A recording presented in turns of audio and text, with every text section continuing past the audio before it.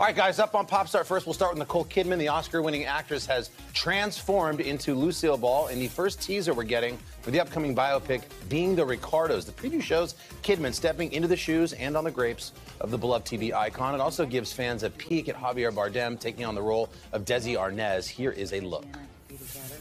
Roll sound. Let's do our show. I get paid a fortune to do exactly what I love doing. Uh, they got their money's work.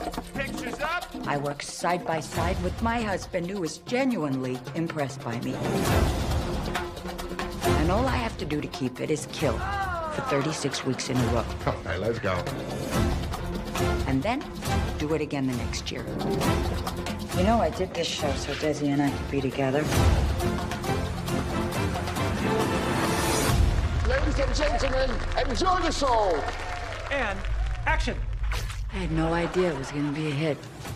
You see what happened there? See what you all just did? What'd you say? bet. We didn't Oh, see it was like, where is she? Where's We're all like, Where's "There's her Nicole- voice?" Nicole Kidman. That's the thing. People That's the like- tease. That's the teaser. But why not show her? I- well, because that was that was her in the moment in the Yeah. grapes. But That and J.K. Simmons It was as her? Fred Mertz. I'm Oh, is that who's excited. playing Fred That's J.K. Simmons. Oh, Fred Mertz? That's right. Uh, uh, Aaron Sorkin, writer, Right. director Yeah. of it. But people are wondering, like, I'm where, in. they want to see her. brilliant. We're all like, Brilliant. I'm in. Being the Ricardos is set to hit theaters on December 10th and will be streaming on Amazon Prime Video later that month.